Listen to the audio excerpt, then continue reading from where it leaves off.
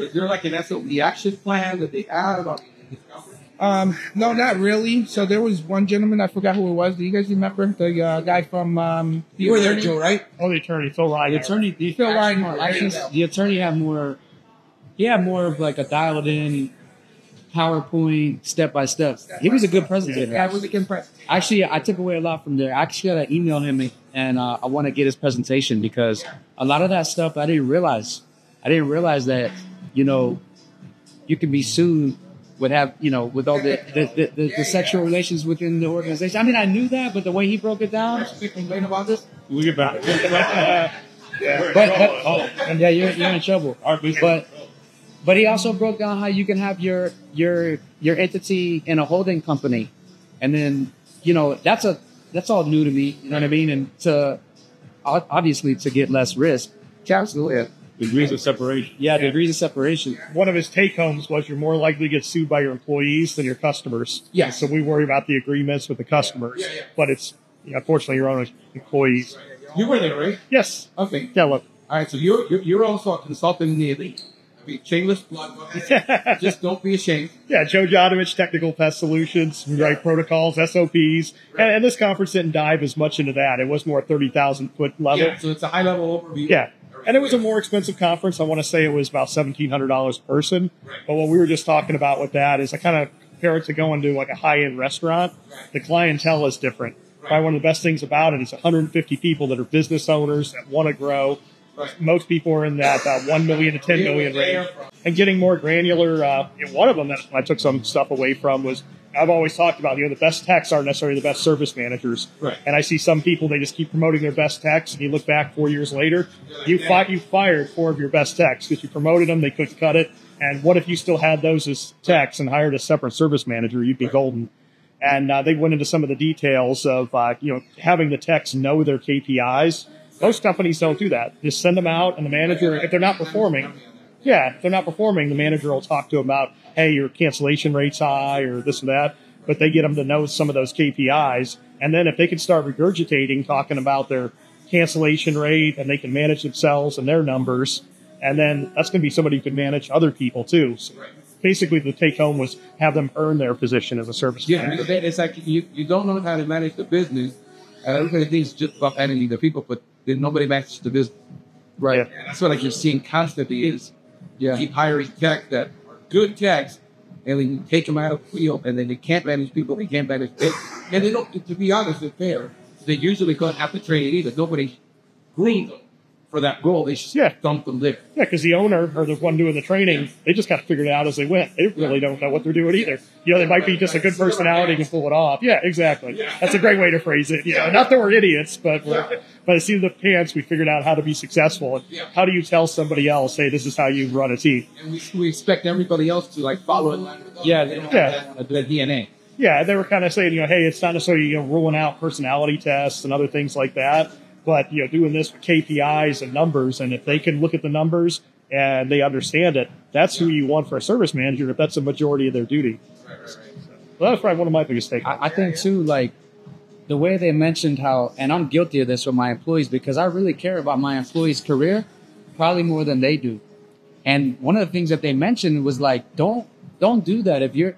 I forgot who it was that was on the, the which speaker it was, but they were saying basically that if you care about your employees' career more than they do, and you're putting too much energy into that, you're losing because if they don't care, they're never going to grow. And so you have to move on. And I thought that was a big, to me, that was an eye opener because I'm really passionate about my employees. And it's hard because, especially me because I'm a family owned business and I care about the people that are around and I really want to make, and you know, look, if somebody just wants to be a tech and that's all they want to do, that's fine. They might be an excellent tech. But if you have hopes for them to be something more in your organization and they don't want to do it, but you, but it's a, it's a, yeah, but you have to figure that out. Yep. They, they strip. A hundred percent. But but for someone like me, it's hard because I don't want to give up, and I and I keep trying to coach them, and I keep trying to make it. But then yeah, and then you you, you know they have to want it until they want it. You don't want it for them. Yeah, you got to stop until they want it, and then when they show you that they want it, obviously that was a big one. But to me, I think the other thing was like just how like they at this conference, right? they look at it from a straight business aspect where they're looking at the numbers and they're dialing in laser sharp, laser focused. Like, what are your cancels this month? What are your sales? What is like every KPI, every number is being looked at. Whereas like for me, I'm more looking at the service side because I'm a smaller organization. and I really care about my customers, right? And I, it's hard for me to like, to like really look at the business aspect when it is a business when I'm so focused on service. And so, but now I take it away and I'm like, okay, I really need to look at my numbers. I need to look at the data. I really need to, this is a business. Like I, I need to make money, right? But I still care about my customers. And if, as I scale, I want to make sure there's a balance, but I really took away that it's time to really like focus on your numbers and really, you're a business at the end of the day and you want to make money. And so that's what I took away from it a lot. Joe, you, you do a ton of, of business consulting. Uh, when you're talking, we like, who do you deal with mainly? Is it solo operators? Is it a three, four, five man company? Yeah. That they've already figured this out because what I see most of the time without talking stuff, I was Yeah. they, they don't have any numbers. Like, Yeah. They don't even know what Quidco says. They have no idea, like, what were your numbers last month? Well, I think I'm doing 12 and up. Yeah. Give me the last time. Okay. It wasn't 12, it was 9.0. Yeah. You know, they're, they're assuming it's this number and they don't even know the number. Yeah. Uh, so what have you experienced in that? And what have you done to people that think, Gotcha. And for the demographics I work with, I will say different different demographics of companies have different needs.